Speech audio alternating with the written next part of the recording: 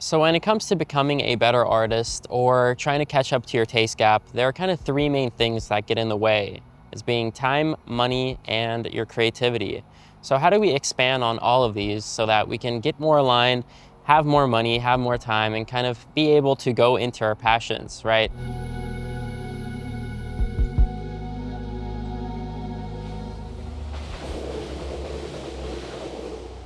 And so this taste gap, it's so painful. And especially when you're watching videos, and at least for me, when I watched my YouTubers, at the end of the video feel so bad and kind of a little bit resentful because there was such a gap between where I was at and where the person creating was at.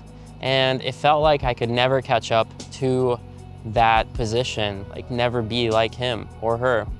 And it was so painful. Like I remember crying like, man, I will never be able to catch up to my dreams. Well, the first gate that you kind of have to go down on and go in is your energetics. And what do I mean by this? This is kind of all of the ego, all the comparison, all of the inputs that you receive and kind of unmasking yourself to see like what is truly underneath all of the trauma, all of the baggage that you have going into how you express yourself. And there's a lot there and I'm not gonna spend this whole video going down energetics, but there's this understanding or this realization that a lot of artists, and I feel like most artists, they don't value themselves enough.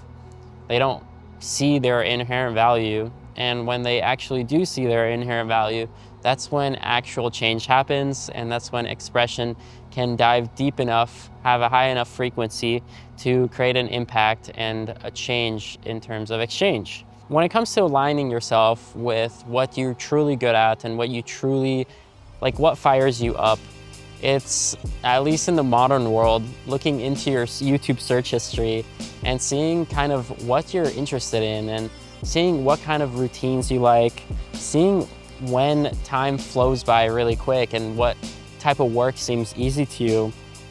And like the world rewards that value because when you're super passionate about something, then you can give your 100% and the world sees that expression, sees the depth of that expression and breeds success.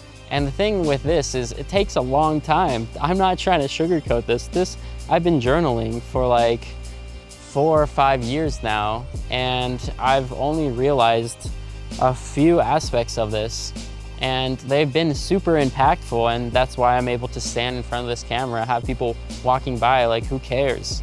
And I'm able to express myself in this way and kind of just try and synthesize all the first principles that I've learned about this particular topic for today. And yeah, like it's, it's been a journey. This isn't gonna be an overnight success, but it's worth it in the end because when you see yourself, when you realize that you have inherent value, that you can be confident in yourself and how you express yourself, that's when you're able to go deeper into your expression to see what aligns most with you and the type of work that you like doing. And that gets so exciting because you allow yourself to express yourself freely in that domain. For me, it's trying to make these YouTube videos and posting them online and seeing if I can reach at it from a high frequency and see if other people are interested in dialogue as well. Because I'm just trying to do a monologue right now, but I work a lot better in uh, dialogue. Once you realize that the imperfections are actually important to sharing your process, your divinity, and your work, once you see that, that's when your expression can fully be realized and that's when people can go down the path of the exchange gate. And what I mean by that is when you're able to share your work vulnerably and the price of making art is sharing it and the vulnerability is the fee. Once you go down that path, you're able to realize this gate that opens up to you and that is the gate of exchange.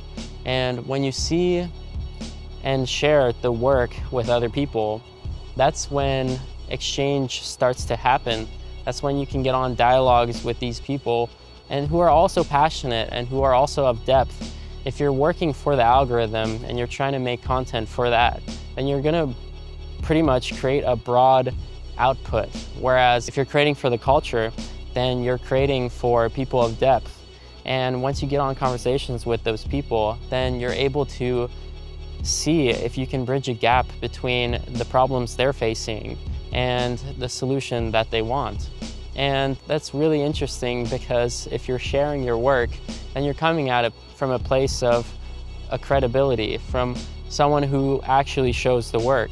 And that's when people will see that value and see and have gratitude for you. Then you're able to exchange in that way and offer a solution and charging a very high price for it. I'm not talking about like 1K, like at least 5K so that you can get your time back, get your money going for your passions and kind of go deeper into your passions as well because you'll be waking up at, in the middle of the night trying to figure out how you can help this person because there's that equal gratitude. And if you're not willing to pay for that debt, then it's not a journey that you want to go down on and maybe the algorithmic route is for you. But if you're a person of depth, then this feels super encouraging because there are so many people who are also of depth and who also have similar passions. And when you can share your work and share your artistry, that's when you know you can get on those conversations and make a change. Actually creates real GDP value. And yeah, once you realize your inherent value, you can charge a very high price for whatever you're doing, for the offer that's custom made for that particular person or that particular conversation.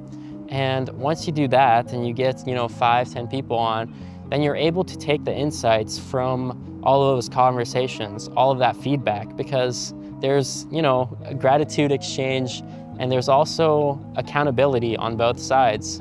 And once you get that feedback, that's, those are learned insights. Those are gained insights.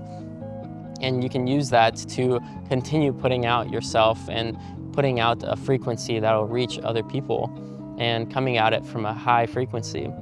And once you do that and you get a whole bunch of people in on your group and just sharing the work, then it becomes super interesting because you can leverage your time and expertise and kind of get on group calls like every week or every two weeks and share what you have to share and kind of dive deep into the problems that are happening.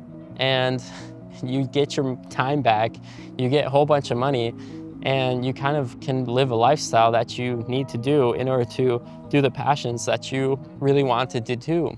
And so your dreams come true, but this journey is a long process and it first starts with energetics and kind of going down that gate and the deeper you go into that gate and the more you understand about yourself, the deeper your expression can be. And the deeper your expression can be, the deeper your exchange will be. And yeah, that's so exciting. And I'm really passionate about sharing this. Yeah, that's it for today.